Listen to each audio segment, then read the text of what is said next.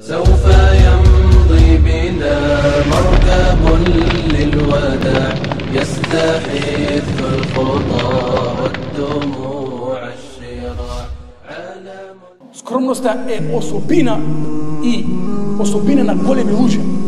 A luđe su imani, su din i su vera na Allah žele čelelo. Prenesu Ahmed ibn Hanbel u njegova knjiga Zuhd. U vremena Musa alaihi salatu wasalam салату ва салам Муса алейхи салату ва салам рече о луѓе сакам во ова место кај што живееме сакам да ми го донесете вашиот најдобар човек.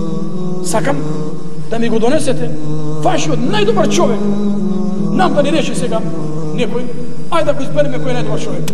Ние нема да најдеме. Зошто? Зошто ние сите се сметаме за подобри од другиот. Луѓето отидоа една недела парад, кој е најдобар човек и го донесе еден човек. Као о Муса, ово е нашиот најдобар човек. Ово е нашиот најдобар човек. Муса не сам вели, ти си најдобар човек? Рече, не. Рече, како сите велат, ти си најдобар, ти викаш, дека ти не ме познават мене. Ти мене може да ме познаш вака да на зореш, фигура. Ама што носам ја во туша?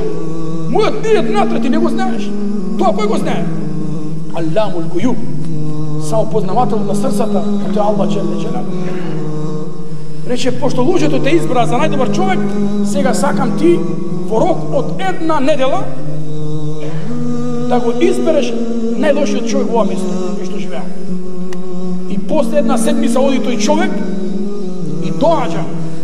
Рече, дали го донесе тој наш лош човек? Рече го донесе. Каде е? Рече тука. Каде е? Јасно. Луѓето го избра за најдобар човек, а тој како рече, јас сум најдобар човек. Зошто? Рече, најдобро ти се познаваш себе си. Најдобро кој, се, кој те познава си самиот себе си. Ниту жена ти дома не те познава доволно. Како што ти самиот се познаваш.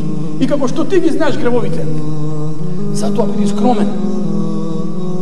Дојде еден човек кај пегам се му рече, ја хајрел берије, о најдобро створение.